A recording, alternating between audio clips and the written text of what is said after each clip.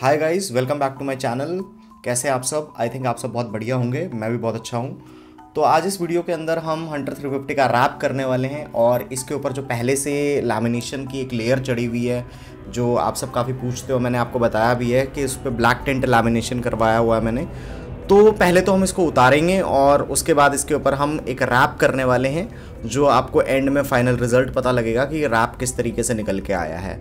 तो अभी भैया सबसे पहले इसको लामिनेशन को उतारने वाले हैं और इस लामिनेशन को उतारने के बाद ही रैप चढ़ाने का नया प्रोसेस चालू होगा।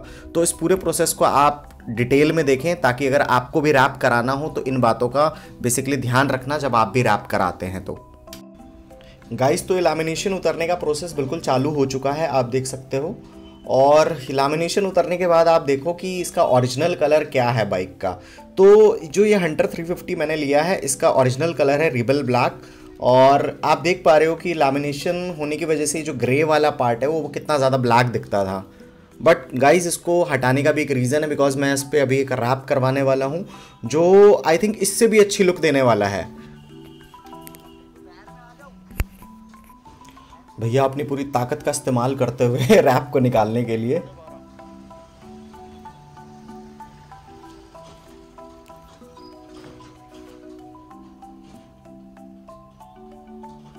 मुझे लगता है टैंक को खोलने की तो ज़रूरत नहीं पड़ेगी आई थिंक बिकॉज़ रैप इसी तरीके से हो जाएगा। बट इसका पेट्रोल लॉक जो है, वो आई थिंक मुझे खोलना पड़ेगा शायद।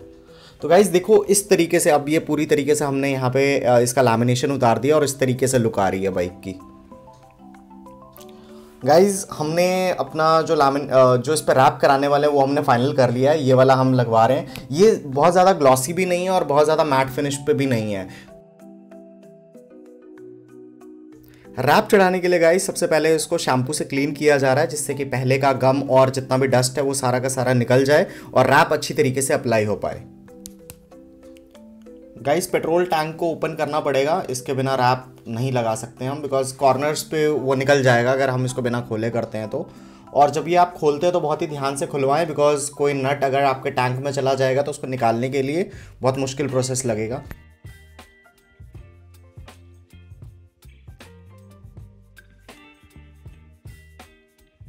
गाइज़ रैप लगना स्टार्ट हो चुका है और देखने में तो बड़ा ही अनटाइडी लग रहा है बट फाइनल रिज़ल्ट डेफिनेटली बहुत ही अलग होने वाला है।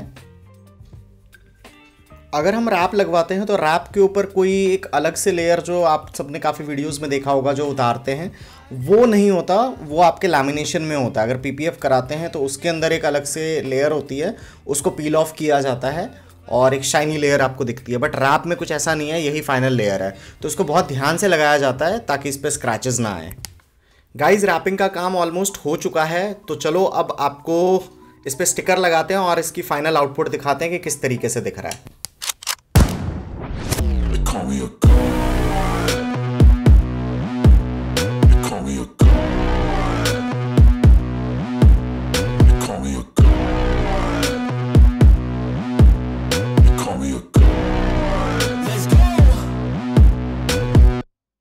I'm about to go off like a weapon. Fuel to the top, got a filled up engine In my thoughts, obsession I will not stop, no, I'm never second guessing I got a God complex. Haters love to hate, but I never feel pressed. Got a lot on my plate, but I never get stressed. I'll take all the pressure like I'm acing this test, oh!